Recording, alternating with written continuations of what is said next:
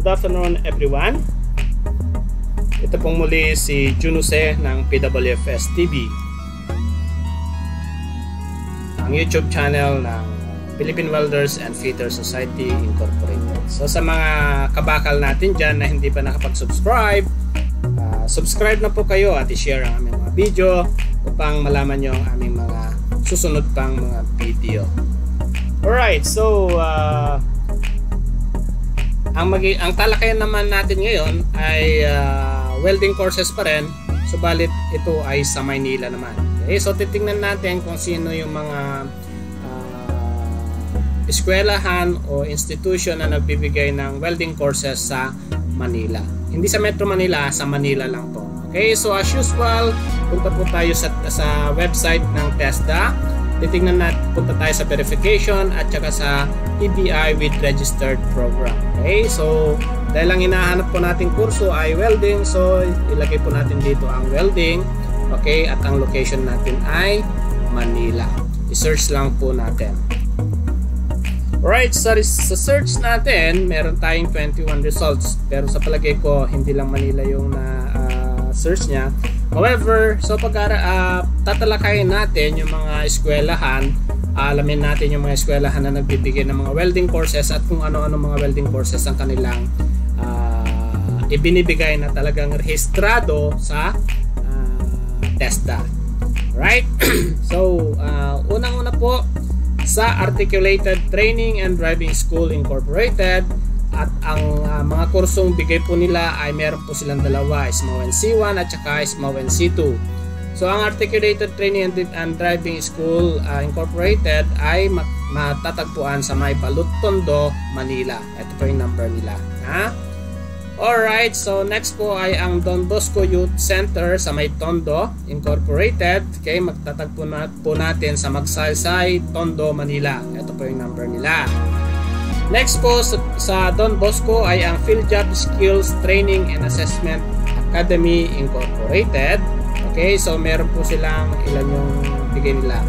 So, isa, dalawa, tatlo, apat, apat. So meron silang apat. So ang uh, PhilJap, ang PhilJap po ay uh, meron silang uh, address sa may uh, Padre Nobal Street, uh, corner Espanya, Boulevard, Sampaloc, Manila. So ang kanila pong ino-offer ay Gitaw NC2, Ismao NC3. So yung mga naghanap ng Ismao NC3, meron pong PhilJap, Ismao NC2 at saka Ismao NC1.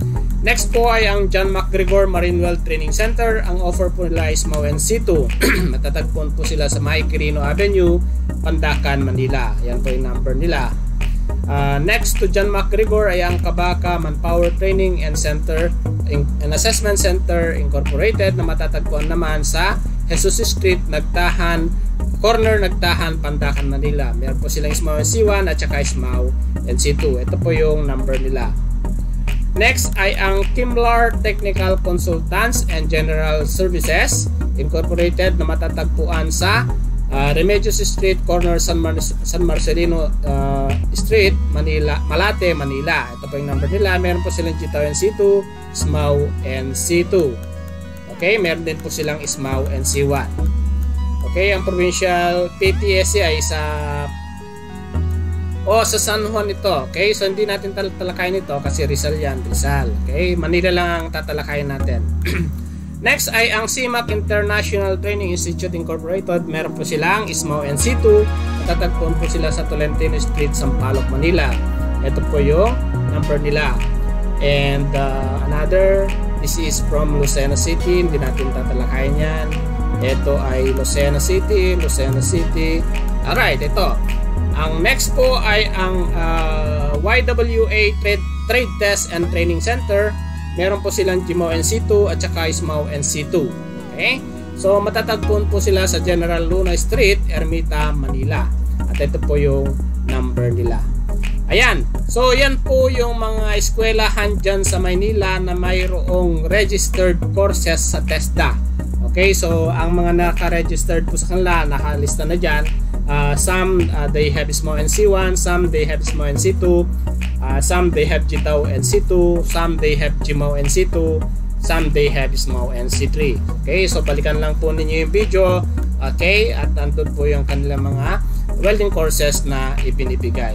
So sa mga nanonood, nanonood natin, kung gusto niyo pong malaman kung sino yung mga eskwelahan, address at saka telepono na merong accredited uh, uh, courses sa TESDA ay ito po sila. Okay? So yan po yung mga nakarehistro mga uh, kurso nila sa welding. Alright, so uh, yan. So yeah, ito po yung pangalawang video natin. Ito naman po ay sa welding courses in Manila. Ang first natin ay welding courses in Tarlac. Uh, kaya natin inunang Tarlac dahil taga ron po ako at naroon po ang, ang aming eskwelahan na HITS School of Welding Technology.